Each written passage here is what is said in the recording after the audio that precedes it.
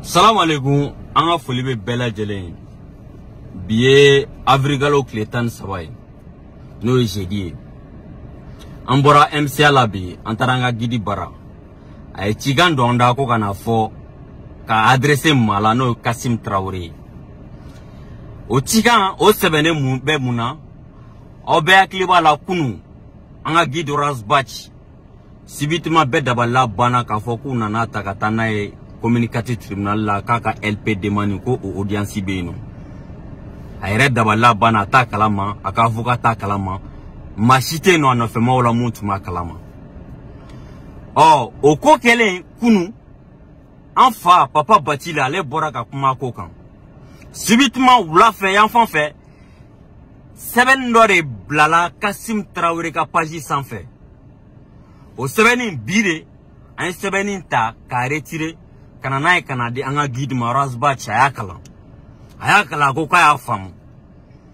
a ko k'a fɔ kasim tarawele ɲɛna ko sɛbɛnni in kɔnɔna kuma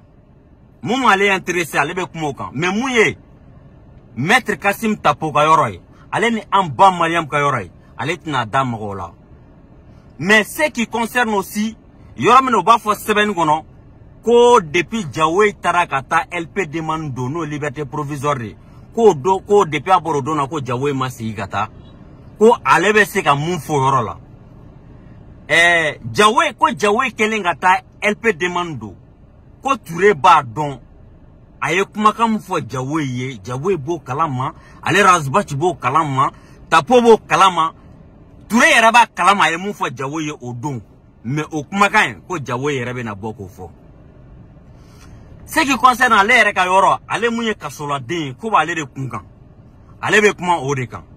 mun ye k'a jira k'a fɔ ko ka soladen k'i bɛ averti n'a sɔrɔ i minɛlen bɛ k'i inculper n'i ye ɛɛ liberté provisoire demande kɛ n'i ka audience bɛ na kɛ k'i bɛ averti depuis vendredi n'a sɔrɔ i kan ka juger mardi ou bien mercredi k'i bɛ averti depuis vendredi k'a bɛ communicati parquet bɛɛ lajɛlen cɛ fara muso kan a bɛ bɛɛ bila o defi o cɛ t'u la mun bɛ se ka bɔ k'a fɔ nin don in na vendredi don in na nin nana fɔ e ye arazbac ye kaso kɔnɔ arazbac i ka audience LP audience ye nin don ye il met tout tout quiconque au défi ko cɛ tɛ o muso tɛ yen nɔ mun bɛ se ka bɔ comme video kɛ ka di a mɔgɔ caman ye yen nɔ ko cɛ tɛ yen nɔ mun bɛ se ka bɔ ka a fɔ ko arasbaci a nana fiyɛ nin mercredi dɔ in na ni cikan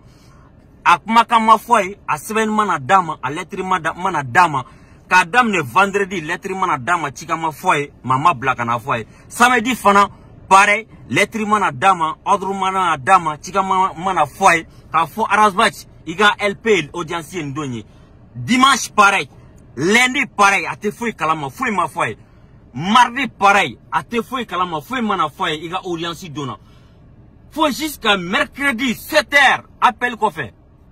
u sɔrɔla ka na a nɔfɛ k'a fɔ a ɲɛna ko rasbach k'i ka audience bɛ yen nɔ bi mercredi n'o ye kunu ye 8h30 ale yɛrɛ dabaliya banna donc ko k'a fɔ kasim minnu ye nin lɛtiri ci i ma k'i k'a bila k'i k'a f'u ɲɛna komi a lɛtiri la ɛɛ tɔgɔ t'a kɔrɔ siɲɛci t'a kɔrɔ ko minnu y'a ci i ma i k'a f'u ye a b'u bɛɛ bila en défi o cɛ tɛ yen nɔ communicati parquet la ko mun nana ka ciden bila ka na fɔ kumakan na ko ale rasbach i avertila k'a fɔ k'i ka audience ye nin don ye mɛ ko k'a fi ɲɛna kasim tarawele i k'a fɔ minnu ye i ci i cibagaw ye ɛɛ lɛtiri ale ni ordre ko kuma in na ɛɛ ɛɛ mca ko batɛmɛsira tɛ sugu kɔnɔna tɛ mca yɔrɔ yɔrɔ min n'i bɛ na ka hali min na visiti la anw yɛrɛ bɛ diɲɛ ma don o don hali ni y'anw bila k'an ka lɛtiri sɛbɛn k'an ka tɛkisi bɔ mca kɔnɔna k'an b'a bɛɛ ɲɛfɔ aw ye n'i bɛ na mca kɔnɔ i bɛ na n'i ka karidante ye i b'i reprezante i bɛ don administration mɔgɔw bɛ yen nɔ i bɛ t'i yɛrɛ yira n'i ka lɛtiri eh, pɛrimi eh, fɛngɛ b'i bolo i ka pɛrimi i b'o yira n'i ye pɛrimi yira ye san nɔ o bɛ arisire n'o arisire i mako bɛ maa mun na o b'a f'i ye o b'i ɲininka o la i b'o fɔ o bɛ taa ɲini ka n'a d'i ma i bɛ t'o tigi nɔfɛ ɔ arasibasi ka affaire tout récent ni mayiga ye ɛɛ arasibasi wele n'u taara mana wɛrɛ da kan k'a to bube ka affaire kelen na o mayiga ka ordre bɛ na don min arazbac kan ko k'a fi ɲɛna ko ordre bɛ n'ale kan don min o b'ale wele don min mayiga ye maa kelen ka fara garidi fila ale ni ordre o papiye bɛ olu bolo ka na ale arazbac nɔfɛ u nana ka n'u adresse ɛɛ kasoboba administration na n'o ye fise yɔrɔ ye fise mɔgɔw ye ciden bila k'ale wele ale nana ka na fise mɔgɔw fɛ yen nɔ u ye ordre yira ale ye ordre kalan ale ye ordre min kalan ale sɔrɔla ka tugu kɔ o donna mɔbili la o taara ɲɔgɔn fɛ kominikati tirimali la o taara o taara ci fɔ ale ye mun tɛra ale kan o dara ale kan madamu dara k'a dara kan yen nɔ u tilala ka segin ɲɔgɔn fɛ u ka mɔbili la ka na ale rasba ci bila mca kelen kɔnɔ ka tila o la tugun o ye kopi bɔ o la ɛɛ madamu dara kan o kopi dira administration mɔgɔw ma MCA kɔnɔ o kopi dila ma ye sisan nɔ o sɔrɔla ka arasvage bila ka taa o bɛɛ perefu bɛ yen nɔ MCA kɔnɔ arasvage ko ten ko ale ka kunun weleli nin kasim k'i ka fɔ i ka lɛtiri cibagaw mun y'i bila k'i ka bila i ka paji sanfɛ i k'a f'u ɲɛna mayiga ka procédure kɛra cogo min a exemple a fichier a ordre ko a cira jɔn ma jɔn de bilala ka na maa jɔn muso jɔn cɛ juma kuma adressera fichier mɔgɔ jɔn na MCA kɔnɔ ko ale rasba cɛ ale ye hɔrɔn de ale danbetigi de ale tɛ nkalonda maa la a bɛ segin a kan k'ale ye hɔrɔn de ale danbetigi de ale tɛ nkalonda maa la ale ye kabilatigi de ale ye halala de ale tɛ nkalonda maa la mɛ k'ale b'a a fɔ kasi min ye i k'a fɔ minnu ye lɛtiri ci ma komi tɔgɔ t'a la siɲɛci t'a la u ka maa bila hali n'u bɛ se ka video kɛ komi video kɛ ka di u mɔgɔ caman ye kosɛbɛ u ka bɔ il met tout le monde au défi u kɔrɔ n'a prevu ye ko k'a yira la k'a fɔ kasim rasbach de ko tɛ ko k'a f'i ɲɛna kuma in yɛrɛ bɛ yɔrɔ min ko n'i y'a ta k'a lajɛ k'i yɛrɛ méfier maa dama dama bɛ yen nɔ nkalontigɛ ka d'u ye mɛ k'i yɛrɛ mefiye k'i ka segin i ka lɛtiri in kalan kosɛbɛ lɛtiri in yɛrɛ kɔnɔna ko la i bɛ taa o ti u panikelen de don n'i yɛrɛ lɛtiri kalan i yɛrɛ bɛ paniki ye lɛtiri kɔnɔ deja ɛɛ o b'a yira sɛbɛnni kɔnɔ ko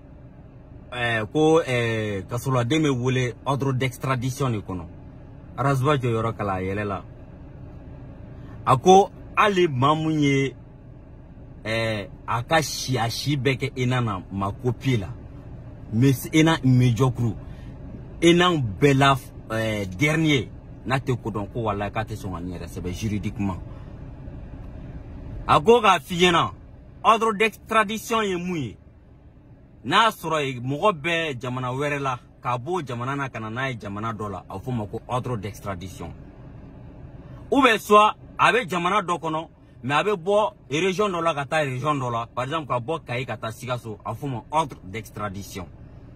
mais ale ka cas ale bɛ bɔ MCA la ka taa tribunal la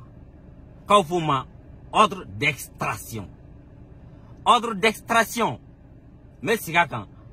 c'est comme ale bɛ bɔ MCA la ka taa n'ale ye ɛɛ communicatif tribunal la a bɛ fɔ o de ma ko ordre d'extraction Razwash ko Kassim ko k'a f'i ɲɛna i k'o fɔ i ka lɛtiri cibagaw ɲɛna u n'a sɔrɔ ni dalilu bɛ yen nɔ k'a fɔ ko ale avertila ɲana ale ka audience cɛ k'i ka bɔ u ka bɔ n'a ye u k'a bila diɲɛ bɛɛ ka ye ko ale raspaci ko ten a ko k'a f'i ɲɛna ma ale ye hɔrɔn ye ale ye danbetigi ye ale tɛ nkalon da maa la ale ye cɛkisɛ de ye maa min ye lɛtiri ci ma u ma tɔgɔ sɛbɛn a kɔrɔ u ma siɲɛciri k'a kɔnɔ mɛ ale rasbac ale bɛ kaso kɔnɔ ale wasalen k'a bɛ to kaso kɔnɔ ka dɔ bila sɔrɔ la ko k'a f'i ɲɛna k'i k'a f'u ɲɛna aransibaci ko ten o yɔrɔ la a ko k'a fɔ aw ɲɛna imam diku ka kuma de don ko maa min bɛ nkalon da a yɛrɛ la ka nkalon da maa wɛrɛ la k'i t'i jigi da u ka diɲɛlatigɛ ko foyi kan a nantanda k'i ka nin fɔ a ye i ka lɛtiri cibaa ye yanni ale razbach bɛ bɔ kaso la ka sɔrɔ ka se e kasim tarawele yɛrɛ ma one love à vous tous